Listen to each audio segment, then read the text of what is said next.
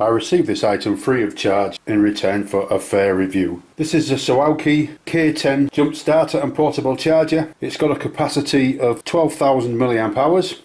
The specifications say it's designed for engines up to 5 litre petrol and 3.5 litre diesel. So that's very versatile because it'll cover most people's vehicles. The jump starter comes packaged in a nice little carrying case and inside we've got the crocodile clips with a connector for jump starting, a USB to micro USB cable, set of instructions, a 12 volt charging lead that's designed to plug into a cigarette lighter socket, a charger so that you can charge up the jump starter, and last but not least the jump starter. And that is extremely small and portable. Some of the specifications on the back of the unit. So at the business end of the unit we've got the engine charging port, that's where the leads plug into two 5 volt 2.1 amp USB outputs, 15 volt 1 amp input which is for actually charging the unit and then we've got the LED torch. On the top of the unit we've got the LED charge indicator, an on off button, it's three quarters charged already. If you keep your finger on the on off button it brings on the LED which is the torch is very bright and would be very useful in the dark when you're trying to connect this thing up or for camping and that type of thing. It's also got an SOS feature on the light which is very handy if you're out and about in the middle of nowhere and you get into trouble. I reckon the majority of people would understand an SOS signal. And then the strobe and it's just a quick press of the power button to change the torch modes. So keep the button pressed for on, quick press, SOS and a quick press and it's a strobe. Strobe's good for if you break down to catch people's attention. So yeah, pretty impressed with that. The instructions say to charge the unit for three hours or more before using it for the first time, so I'll just leave that on for three or four hours and then come back to it.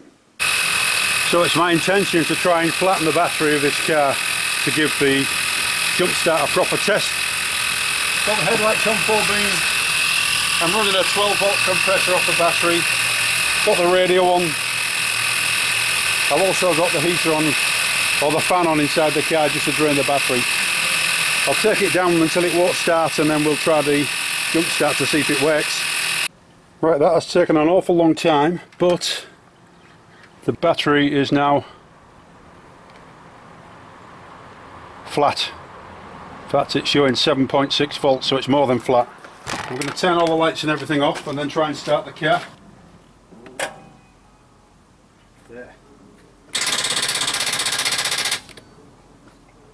That's what a Land Rover sounds like when it won't start. So, that is well and truly flat.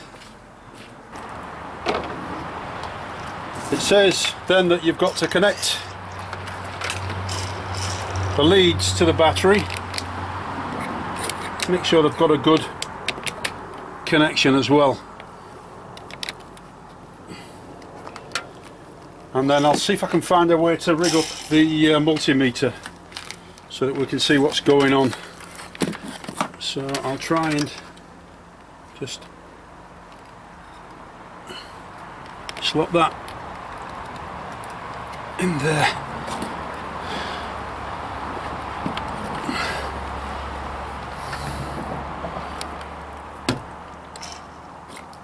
It's going to be quite difficult to do that wants to go there Slot that there. Hopefully you can see that. And then I'll connect. It says you've got to connect the power bank and it'll only go in one way which is there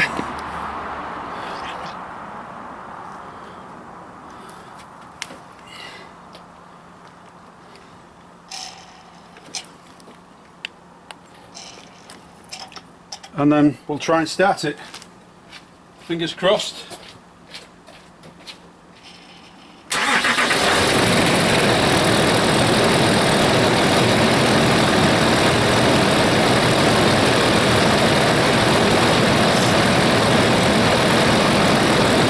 Then it says you've got to disconnect the cables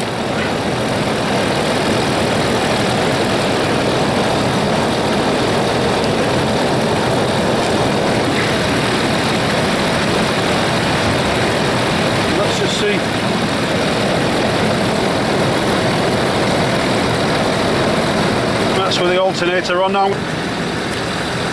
So that was a completely flat battery, a 2.7 litre diesel engine. It started it, no problem.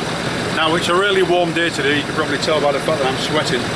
So I don't know what it would be like in the cold, but it will start a 2.7 litre engine when the battery's flat. So very impressed with that. So we've gone from four LEDs to three LEDs. So it's used about a quarter of that battery pack to start that engine. As well as jump starting a car, this is also a portable power pack. So it's got two USB ports at the front. So I've just plugged in an iPhone and a GoPro.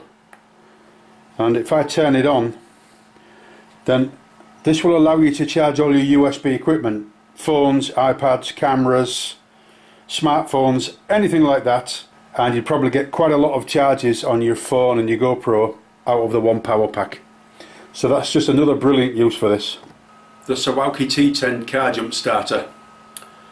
I've always wondered whether one of these things would actually turn an engine over because to me I just wouldn't think it was possible but I've actually proven it today on a 2.7 litre diesel engine completely flat battery and it started it without any problems whatsoever I'm extremely impressed.